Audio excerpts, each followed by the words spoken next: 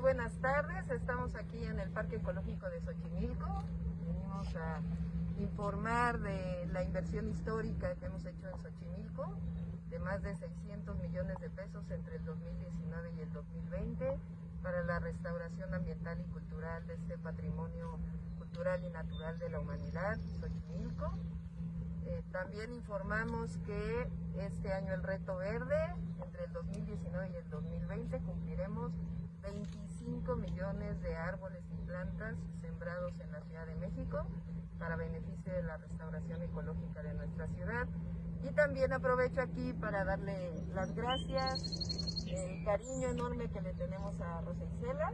Se va a desempeñar nuevos encargos con nuestro presidente de la República, Andrés Manuel López Obrador, a consolidar y a fortalecer la cuarta transformación. Siempre eh, tiene un espacio aquí en la ciudad y además la queremos mucho, es gran amiga y una gran servidora pública.